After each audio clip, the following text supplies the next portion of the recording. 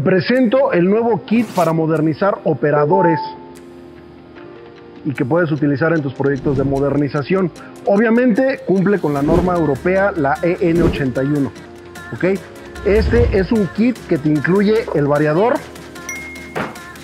te incluye el motor, te incluye la polea tensora y te incluye el clip para la banda. La banda obviamente se vende por separado porque ahí va a depender de cuántos metros vas a ocupar para tu operador.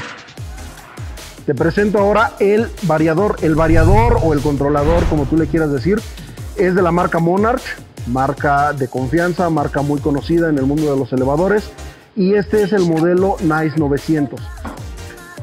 Una de las ventajas que tiene este variador es que no tienes que utilizar una fuente de 24 volts externa para tus señales, porque ya la trae incluida. ¿Ok? Y si fuera necesario, incluso podrías conectarle también una resistencia de frenado, en dado caso que le llegaras a utilizar. Vámonos al motor. El motor es un motor gearless o motor eh, sin engranes, es un motor síncrono. Esto quiere decir que pues va a tener menos desgaste que los motores asíncronos o de escobillas o de jaula de ardilla. ¿Sale?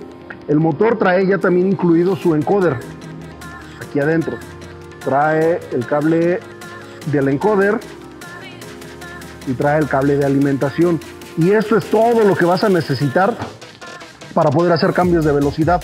Ya no tienes que conectar los eh, sensores biestables para hacer estos cambios de velocidad o para eh, la apertura de las puertas o el cierre de las puertas. ¿Ok? Ahora el montaje. Este motor trae dos soportes para que se pueda montar dependiendo la apertura de tus puertas, si es central o si es lateral, o dependiendo también cómo esté tu operador y para que veas cómo la vas a montar. Cuando compres el kit, dile a tu asesor comercial qué apertura de puertas tienes, cómo lo vas a montar, para que te puedan dar ya sea uno u otro de los soportes. ¿Sale? Ahora, seguimos con el motor. El motor trae protección IP44. ¿Qué quiere decir esto? Que te aguanta salpicaduras de agua. El motor es un motor de 47 watts, de 2.3 newtons, metro, y esto te da hasta unos 40 kilos de arrastre para tus hojas de cabina y tus hojas de pasillo. ¿Ok? Y también tiene un, tamaño bastante compacto, la verdad. Este, este variador trae 200, unos 213 milímetros de ancho, trae unos 150 milímetros de, alto y trae unos 66 milímetros de espesor. El motor trae unos 140 milímetros de diámetro y unos 70 milímetros de grosor, ¿vale? Esto te va a dar una versatilidad increíble para que tú lo puedas instalar en donde tú lo necesites sin que tengas problemas del espacio que te va a ocupar eh, en tu operador que ya tengas ahí, ¿vale? Ahora, el variador trae su botón de encendido y apagado. Aquí arriba es donde se alimenta, se alimenta 220 volts corriente alterna y tienes dos opciones. Opción 1 es que metas una línea de 220 volts corriente alterna y una línea neutro. Y la opción 2 es que metas una línea de 110 corriente alterna y otra línea de 110, lo cual te va a dar los 220 que tú necesitas. Aquí abajo conectas el motor.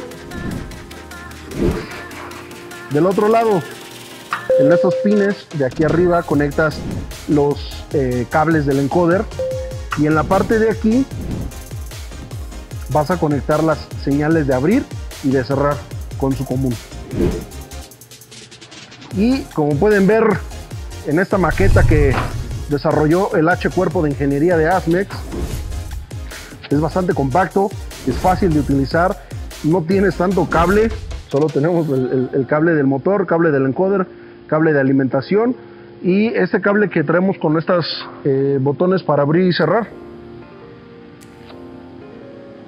Se abre, cierra y todo lo programas con el panel que trae aquí. Listo colegas, espero que esta información que estamos compartiendo con ustedes sea de utilidad. Compártanla con algún colega que necesite eh, un kit de modernización como este o compren uno para que lo puedan probar y puedan ver que es de lo mejorcito. Listo, colegas, nos vemos en el siguiente video. Bye.